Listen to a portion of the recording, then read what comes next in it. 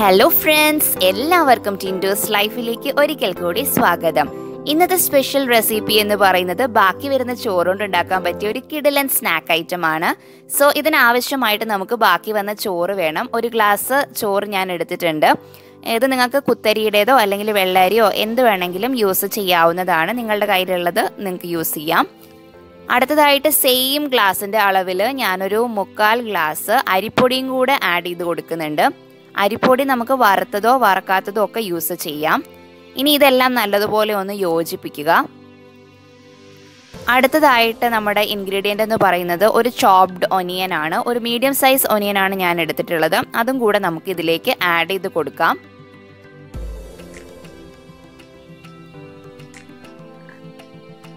അടുത്തതായിട്ട് നമുക്ക് ginger garlic paste അതോടുകൂടെ തന്നെ ഒരു ചില്ലിയും പിന്നെ കുറച്ച് കറിവേപ്പിലയും കൂടെ ഇട്ടിട്ട് ഞാനൊന്ന് ചതച്ചെടുത്തതാണ്.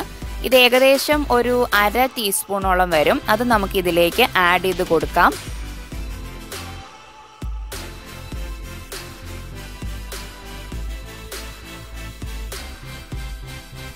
ഇനി ഇതിലേക്ക് ആവശ്യമായിട്ടുള്ള പൊടികളാണ് നമ്മൾ ചേർത്ത് കൊടുക്കാൻ പോകുന്നത്. ആദ്യമായി തന്നെ മഞ്ഞപ്പൊടിയാണ് നമുക്ക് വേണ്ടത്. അതൊരു കാൽ ടീസ്പൂണ് മഞ്ഞപ്പൊടിയാണ് ഞാൻ ഇതിലേക്ക് ആഡ് ചെയ്ത് കൊടുക്കുന്നത്.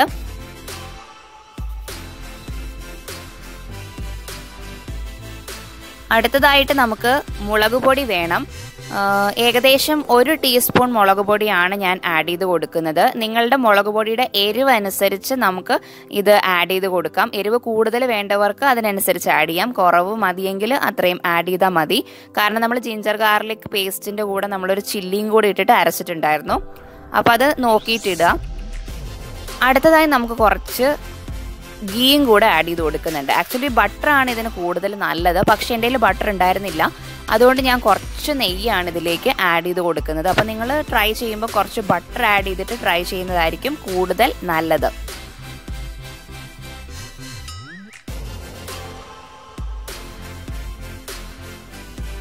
ഇനി ഇതെല്ലാം നമ്മുടെ കൈകൊണ്ട് നന്നായിട്ടൊന്ന് യോജിപ്പിച്ച് മിക്സ് ചെയ്തെടുക്കുക എന്നുള്ളതാണ് നമുക്ക് ചെയ്യാനുള്ളത്.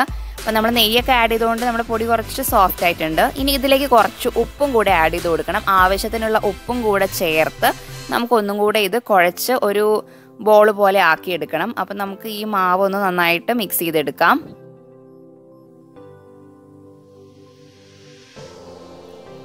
സോ ഇതിലേക്ക് ഞാൻ കുറച്ച് വെള്ളം കൂടി ആഡ് ചെയ്തിട്ട് ഒന്ന് മിക്സ് ചെയ്തെടുത്തതാണിത്.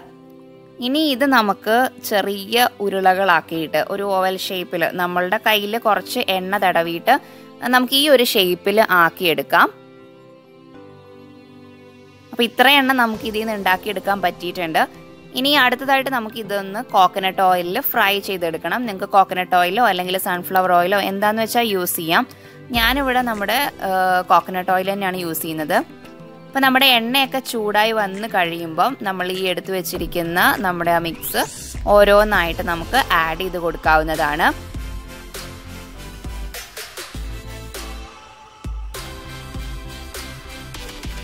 എണ്ണ നല്ലോണം ചൂടായിട്ടുണ്ട്. ഇത് ആക്ച്വലി ഒരു നമുക്കൊരു എണ്ണയിൽ മുങ്ങിക്കിടന്ന് നമുക്കത് ഫ്രൈ ചെയ്തെടുക്കണം. അപ്പോൾ നല്ലതുപോലെ അത് ഫ്രൈ ആയി വന്നിട്ടുണ്ട്. ഏകദേശം ഒരു ഗോൾഡൻ ബ്രൗൺ നിറം ആവുമ്പോൾ നമുക്കത് എടുത്ത് മാറ്റാം. സോ നമ്മുടെ സ്നാക്ക് ഇവിടെ റെഡി ആയിട്ടുണ്ട്. ഇത് വളരെ ഈസിയാണ് അതേപോലെ തന്നെ നമ്മളുടെ ബാക്കി വന്ന ചോറ് കൊണ്ട് നമുക്ക് വേസ്റ്റ് ആക്കാതെ ഉണ്ടാക്കിയെടുക്കാനായിട്ട് സാധിക്കും. സോ എല്ലാവരും ഇത് ട്രൈ ചെയ്ത് നോക്കുക. And thank you so much for watching